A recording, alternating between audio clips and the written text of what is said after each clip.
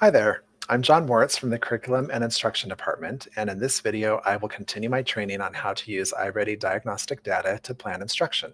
In the first video, I reviewed how to analyze diagnostic results by reviewing the class diagnostic status and diagnostic results reports, and I provided a couple protocols for interpreting that data. In this video, I will review three different types of supports that are available to teachers through iReady.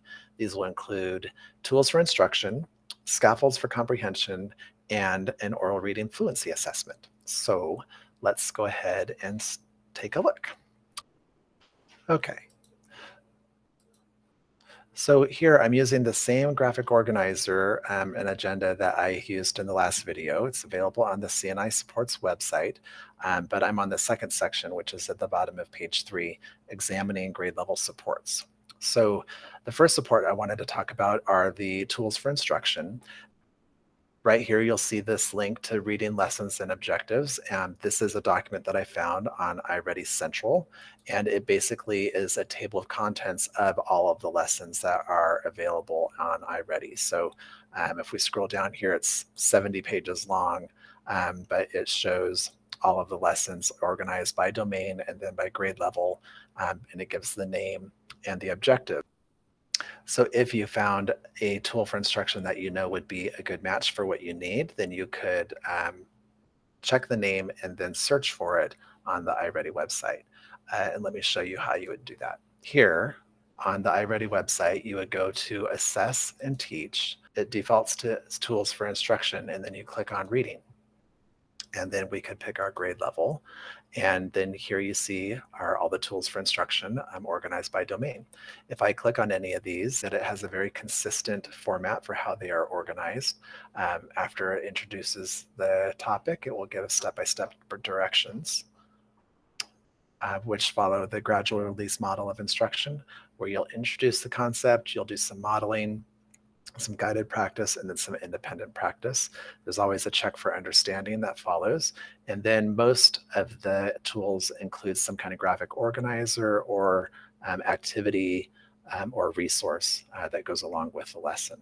The second way that you can access the tools for instruction is uh, by going to reports and then going to class and then going to instructional groupings. And if I click on instructional groupings, what it does is it brings up a report that shows um, the students' uh, results from the diagnostic and the groups that iReady would prioritize as the highest need. So um, I'm not going to do that because here, because it will show student information. So I'll jump over here. So I'll jump over to this PDF, which uh, shows the uh, report cheat sheet. It's another annotated um, document that gives um, an overview of the report for instructional groupings. So this first part um, are all your groups and the number of students that are within each group. And then if I click on a group, it will show me the students that are within that group. Below the instructional priorities are the recommendations for teacher-led instruction, and these would be uh, the recommendations to meet the needs of the group. And then on this to the side there, there are the tools for instruction. So these are links to those same lessons. Um, it's just that they are targeted to this group uh, based off of their results. So those are the two different ways that you can access the instructional, or sorry, those are the two different ways you can access the tools for instruction. One on the Assess and Teach tab, uh, to just see the menu, or you go to reports and instructional groupings to have them be targeted towards your group so you can see exactly what I iReady would recommend that you work on. Okay, so we've reviewed the instructional groupings cheat sheet and the tools for instruction. Next, we have tools for scaffolding comprehension. Right here, you'll see a link for an overview of tools for scaffolding comprehension. And this is a PDF that I found on the iReady Central, iReady Central website. Um, and it goes over how to use these tools. So the first part gives you an overview, um, comprehension at a glance, how to use data to plan your instruction using these. Um, and then here it kind of goes over the structure of uh, these tools. So um, what it what is nice about these comprehension scaffolds is that they have two different scaffolds. They have an A and a B, and both um, the A and the B are two separate lessons with two separate different passages that uh, meet the needs of two different levels of students. The A level would be for students who are two or more years below grade level, and the B level is for students who are one, one level below grade level. Um, but they both are scaffolding towards the same instructional focus. So here you'll see that the before the reading, um, it gives you some directions. It's going to identify words that you might want to review with them as far as vocabulary. It gives you uh, some directions on what to do during the reading, which is always going to be to start with a model. Um, it gives you some ideas for how you can scaffold the instruction for ELL students. Um, then it gives you some practice uh, work. And then there's always a check for understanding as well gives you some information and some ideas for what you can do after the reading too. And then there's a the separate PDF for this the students, um, and that includes the passage and then the activity uh, that would go with that um, assignment.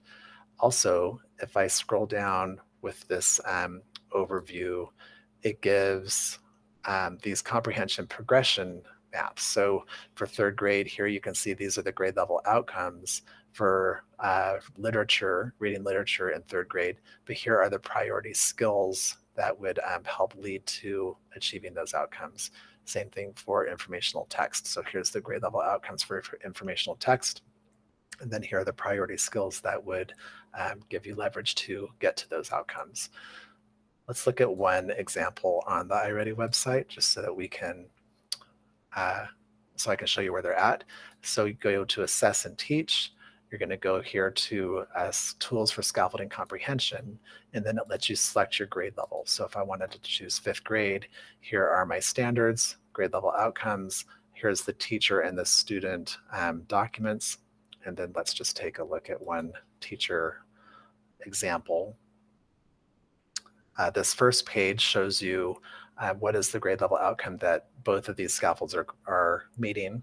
Um, here's the a is um, two grade levels below, the B scaffold is one grade level below. They have different objectives, but both of those objectives are leading towards this fifth grade outcome. Um, it goes over how the meet the text. So uh, what are the knowledge demands that the students might need to make sense of this um, passage? And then what are the language demands? And then this was uh, what that the directions went over as far as what the lesson plan looks like. So scaffold A, and then here are here's the answer key for scaffold A, and then here's scaffold B. The directions, um, check for understanding, and then the answer key for that.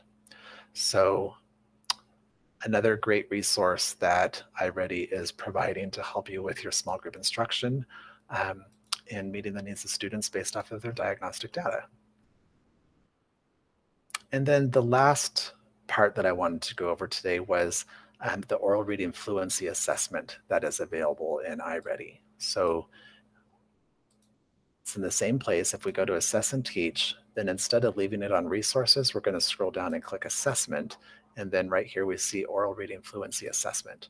And I know that the district uh, highly promotes us using six minute solutions. Um, and I'm not suggesting that you move away from that, but if you have a need for additional resources um, or um, then here's here's another option basically. So the oral reading fluency assessment is not a digital assessment. It isn't um, integrated into the digital platform um, for iReady. This would be a set of materials that you would print um, or you could use with your distance learners because it has the student passage um, separate. But there's an administration manual. Here are your rubrics. And then um, I believe that there are two benchmarks there are three different forms, and then each form has um, six different versions. Uh, so you could you could do a lot of progress monitoring if you choose to. So there is the um, oral reading fluency assessment that's also available in iReady. So that concludes this portion of the um, series. Uh, we're going to do one more, which is going to talk about student goal setting and data chats. So hope to see you there.